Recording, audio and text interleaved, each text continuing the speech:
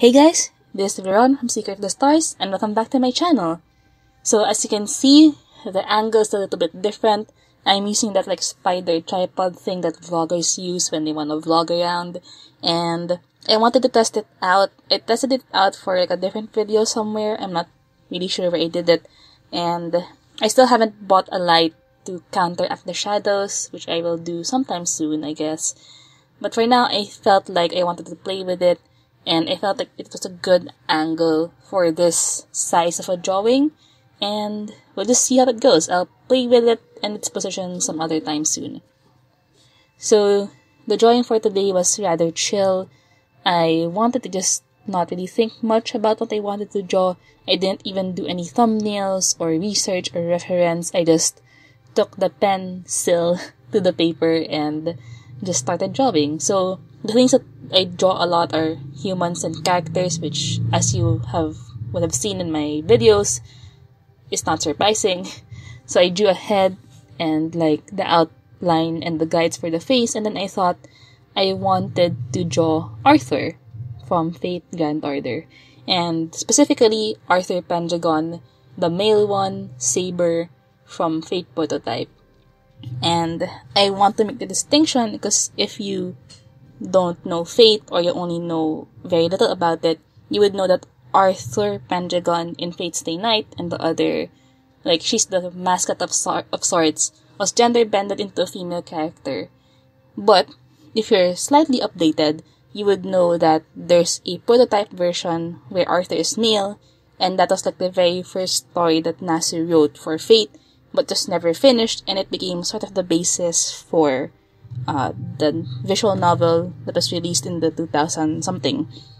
So yeah, um, I loved that. I love his design. I love his character. And when the prototype OVA came out, I just loved him so much. So when he appeared in Fate Grand Order, the mobile game, I just rolled for him so much. And luckily, I got him on like the third or fourth roll for him. So that's great. I have him on the Japanese account. I'm just waiting for him to come over on the English version and I pray that I get him because I will be so sad if I don't get him. So I just wanted to draw a casual Arthur Pendragon. Uh, he's not on his armor or anything, or even in the clothes that he would be seen in the OVA.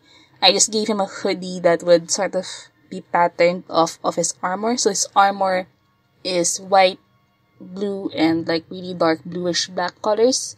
So there's these ge- geometric designs on his breastplate, I think. So I just incorporated that into the jacket and just went on it.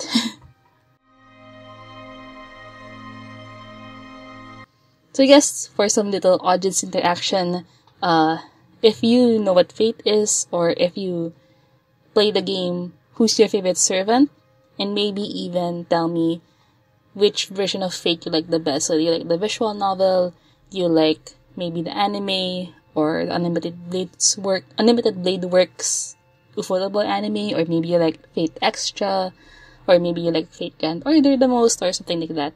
For me, my favorite servants, the top five would probably be um, Archer Emiya, um, Artoria Saber, the original one, this Arthur Pendragon Saber, the male one, David Archer is honestly a favorite, and Okita Soji. So I really like a lot of the sabers and the archers, to be honest.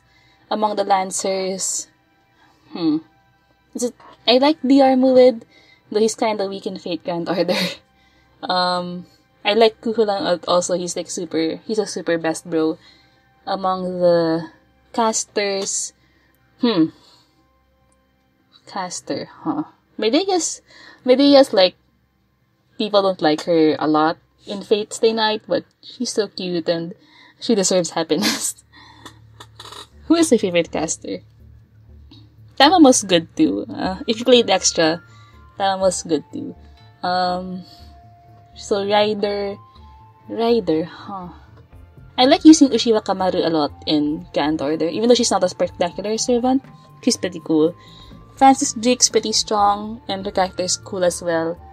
And Assassin would probably be Serenity's. Oh, Serenity. I don't have. She's not in the NA server yet, but she is in JP. So among the ones in the NA server, honestly, what's his name? Um, and I forgot his name. Good job. what's his name again? Ah, I forgot. The guy with the guillotine.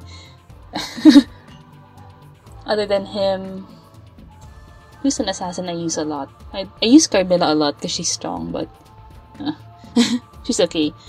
Um, Berserker. Huh. Oh, Asterios is cute. I, I like Asterios, to be honest. He's not the top class Berserker, but Asterios is cool. And then, yeah, those are pretty much my, I think, my favorite servants.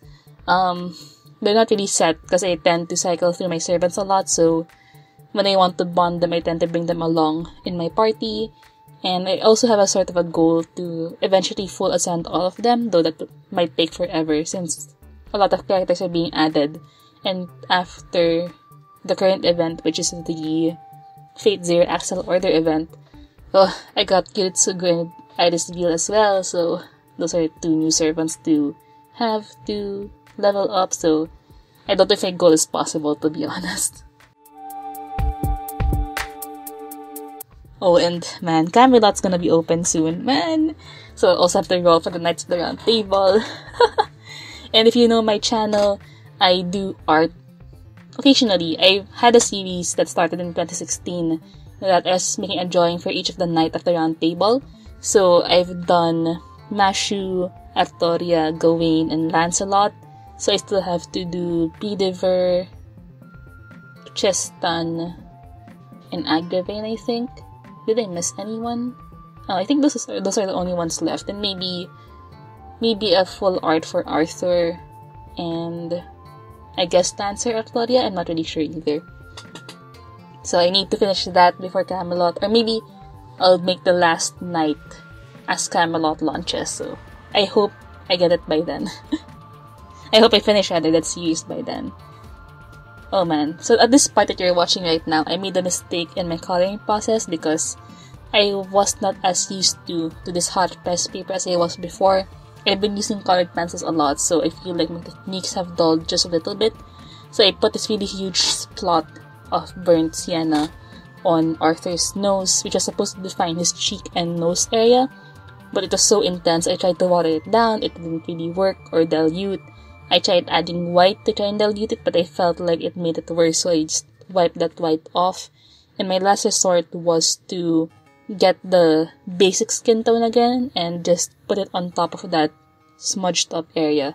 I think that part worked because when it dried, it seems that for this particular band of hot press, which is the Fabriano Artistico hot press, um, the colors flatten a little bit and they, um, I don't know, like when they dry, they're not as I guess vibrant or pop as when it's in cold press because I noticed with the cold press that I use, like the layering and the color are more or less the same as when they were first put on wet. With the dry, with this um, hot press, it felt like it was a bit more, like the color shifted a little bit, and it blended a little bit more. I'm not sure if it's because I added that skin tone or if it's because the paper itself did that.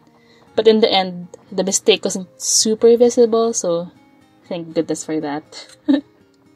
so really quickly, I'm doing a golden background for him just because I didn't really know what I wanted to do for his background since it was an unplanned piece. So I thought of doing the light from Excalibur instead since any Excalibur user uh, usually emits a golden light when they, you know, use their special attack. So that was a good background for Arthur. And I was just careful not to have it blend with his hair because his hair is also blonde with like slightly orangey shadows. So yeah, it was pretty fun. It was chill. I did this piece pretty quickly, but it really helped me relax and unwind a little bit from a sort of stressful week, to be honest. But that was good, and I hope you guys enjoyed.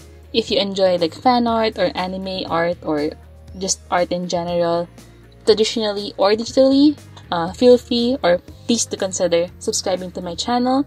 If you enjoyed this video, please give it a like as well.